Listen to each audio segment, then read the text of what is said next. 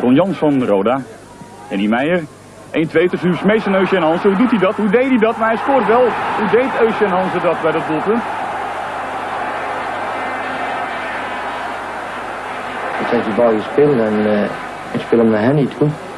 Ik speel hem zo hard naar mij toe dat ik hem in één keer kaatsen nou, en toevallig komt hij bij in de voet. Nou, die kan hem in één keer doorsturen nou, en uh, toen ligt hij onder me. Toen moet ik een schaarbeweging maken om hem zelf mee te nemen. En toen lag hij op mijn linkervoet. Ik kon er alleen maar nog met links schieten. Kon John Rooks daar helemaal niets aan doen? Ik was heel even uit positie in de seconde. En uh, toen moest ik me even herstellen. Maar dan blijkt dus dat je die seconde dan te laat bent. Want in de loop gooi ik me en hij schiet hem perfect onder me door. Maar dat doelpunt mag gewoon niet vallen. Goeie paas van Jans naar Hoekman. Nog een keer een kans op een voorzet. Smeets wacht achterin. Verhagen geeft hem de kans niet. Meijer dan. Hansen.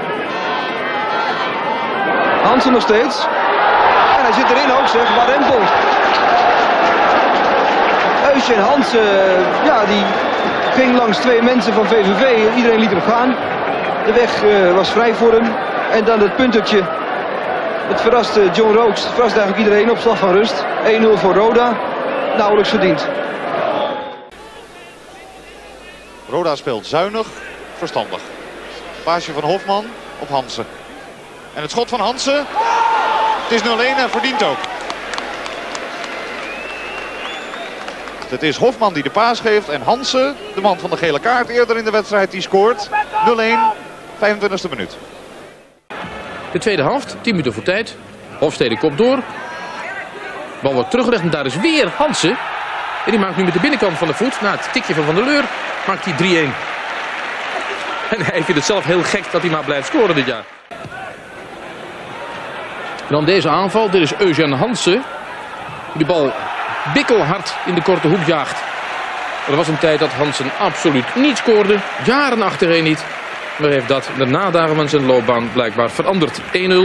Eugène Hans naar die voorzet van Van der Broek. En dit is Hesp. Van Aya Wilson, Otje Koekoe en Hiele is een goede doelverdediger. Al 400 wedstrijden lang. Dan Hansen. Een geweldige knal. Zijn zesde goal van het seizoen. Ook al opmerkelijk trouwens. Hij brengt dan terug tot 1 tegen 2. Haan hier in beeld. Is bij Rode JC aanwezig voor de tweede helft. Als vervanger voor Hofman.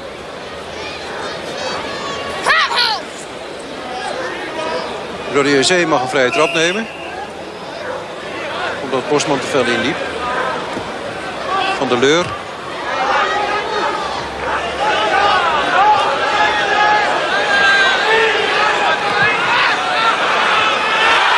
Dat mag doorgaan.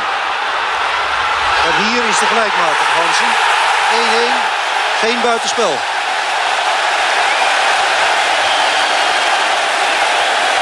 Hansen bij Rode JC tegenwoordig op het middenveld. Krijgt hier de bal. En hij gaat scoren.